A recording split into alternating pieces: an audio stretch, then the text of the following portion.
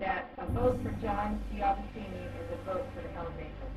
I don't think the vote for John D'Agostini is a vote for the hell Angels. And I do not think that a vote for John D'Agostini is voting for a hell Angel to put in office by any way, shape, or form. But John D'Agostini. You voting for him? Come on.